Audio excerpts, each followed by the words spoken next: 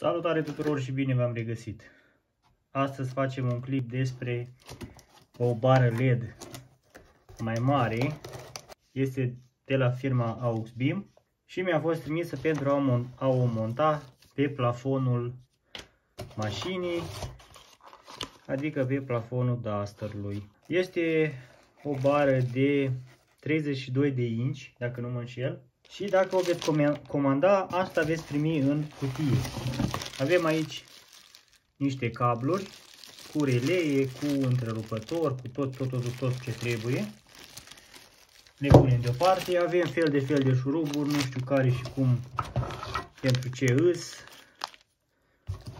Două chestii din astea, la fel, nu-mi dau seama unde vin, dar asta o să fie treaba celor din service. Încă niște tăblițe, piulițe, șaibe, chei imbus și bineînțeles piesa de rezistență, bara. Cablu pentru conectare este destul de lung. Sunt curios pe unde o să-l pună cei de la Darex, pentru că o să merg să o montez la Darex Auto. Și dacă știți, am, uh, am făcut unboxing și review și la telecomanda aceea cu 4 uh, cu 4 canale, nu, cu 6 canale. Și voi lega această bară la telecomanda respectivă pentru că este un avantaj uh, foarte mare în momentul în care ai conectat sau ai folosit telecomanda când vrei să mai adaugi un bec sau știu eu o bară sau altceva, nu mai trebuie să mergi cu cablurile până în mașină pentru a avea acces la întrerupător.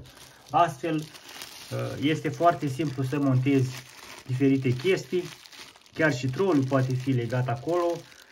Eu o să încerc să leg și o să văd dacă încerc să leg trolul sau o las așa cum e. Dar bara asta cu siguranță că o voi pune pentru că este mult mai simplu pe viitor să montez alte chestii.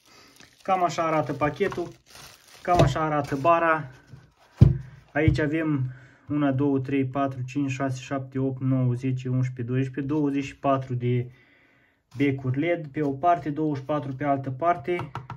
Iar în mijloc avem 3 uh, becuri din astea LED care sunt cu lupă.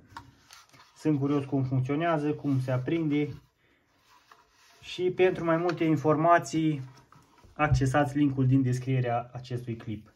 Acum să trecem la montaj și să vedem cum se prezintă această bară la câteva teste noaptea. Lot of boring math later.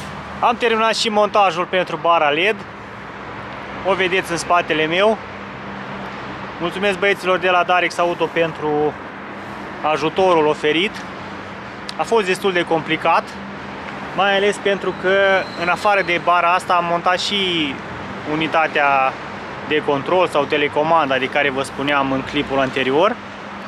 Dar acum haideți să vă arăt ce soluție am ales eu pentru a fi ok din punctul meu de vedere și anume am ales o soluție de tip plug and play, adică am uh, lăsat firul care este mai subțire, ca să zic așa, și l-am adus până undeva în zona asta.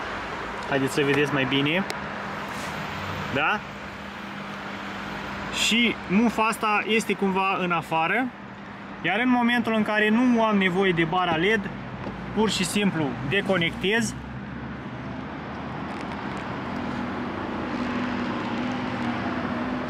Hai să vedem dacă reușim.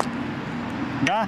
Am deconectat firul ăsta și l-am pus undeva aici.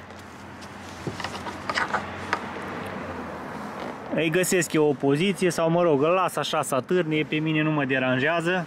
Ideea e că oricum nu merg la off-road în fiecare zi și chiar nu am nevoie pe drumurile publice de bara asta astfel că o să o dau jos în momentul în care nu merg la pădure sau la off-road și când mă duc, pac, am pus-o înapoi. Tocmai de asta am ales și soluția de a prinde bara folosind acești magneți care sunt destul de puternici. Dar să vă arăt cum am, uh, pe unde am dus firul.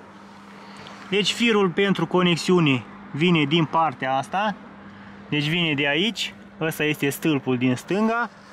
L-am dus pe, pe aici, pe sub cheder. Așa, fain frumos. Și l-am scos în partea asta.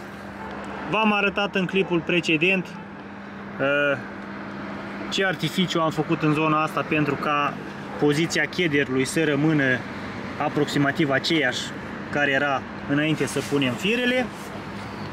Iar de acolo firele,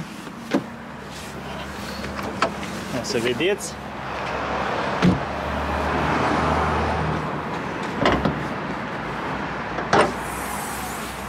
De acolo firele vin în zona asta, aici avem, uh, avem un releu, de aici le-am dus spre baterie și le-am legat uh, la baterie două fire, unul pe roșu, unul pe negru, iar al treilea fir a mers în această cutie sau panou de la telecomandă și astfel avem butonul pentru pornit și oprit pus acolo pe telecomandă în stânga volanului. Așa arată bara aprinsă pe timp de zi. Sunt curios cum luminează noaptea. Acum este ziua meaza mare și se vede, vă dați seama că noaptea o să arate chiar și mai fain. Și faza faină este că folosind acești magneți de exemplu, aș putea orienta bara, nu știu, să lumineze și în spate, dacă vreau asta. Bine că... Da.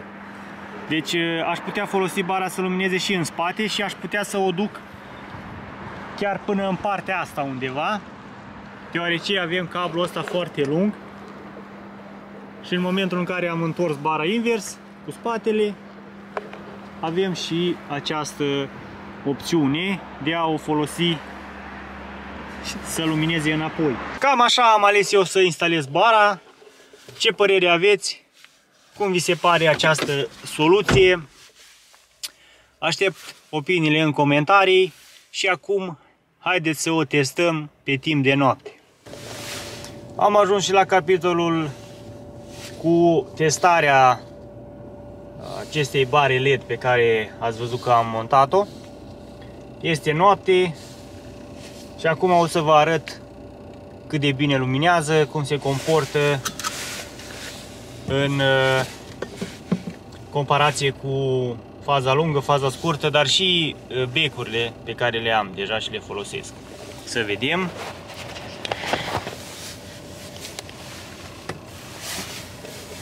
Momentan suntem cu faza scurtă, da, așa este poziția. Începe să se lumineze afară, dar uh, totuși putem să vedem cât e de ok bara LED. Faza lungă. Astea sunt proiectoarele sau becurile din față și asta este bara LED.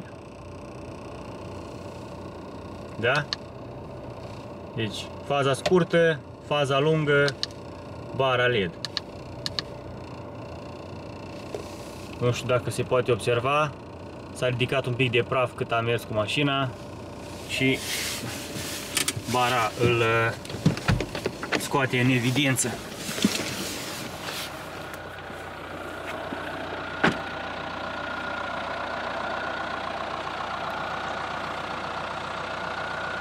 Da, zic eu că luminează destul de bine, mai ales astea trei becuri din mijloc, care sunt cu lupă. Hai să vedem dacă... Da. Și au un fascicul foarte, foarte puternic acolo în mijloc.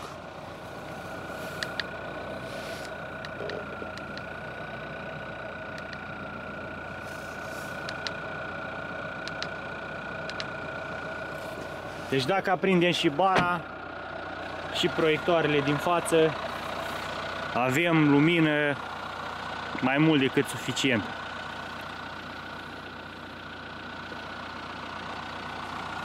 Hai să mergem un pic și cu mașina.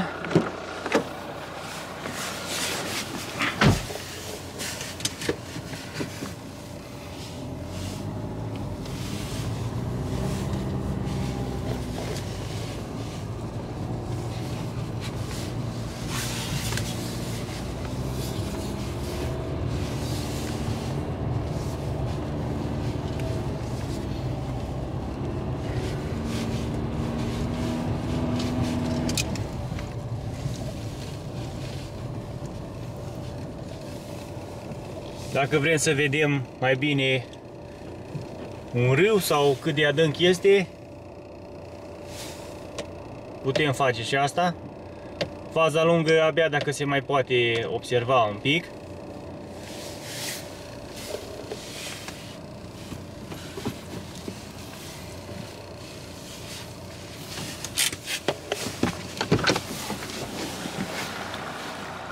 Partea faină este că pot monta și bara orientată și în spate sau o pot monta chiar și orientată în lateral dacă am nevoie.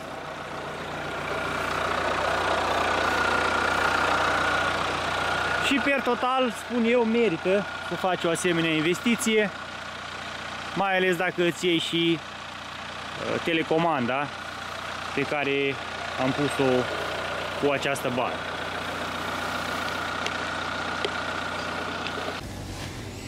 Înainte de a încheia, vreau să vă arăt cât este de simplu să dai bara jos în momentul în care nu mai ai nevoie de ea.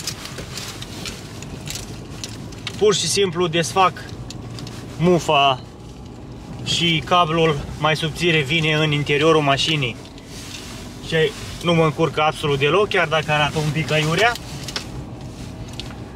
Și folosind uh, un pic de forță, ridic bara sau o dau înainte sau, sau înapoi și magneții se desfac și foarte frumos o pun în portbagaj sau o pun în casă dacă de exemplu am nevoie de loc în portbagaj și astfel stau și fără grijă că nu mi-o fură cineva sau uh, mă oprește poliția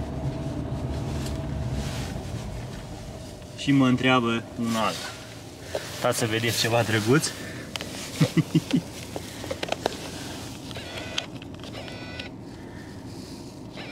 Ia spuneți-mi, ce sunt astea?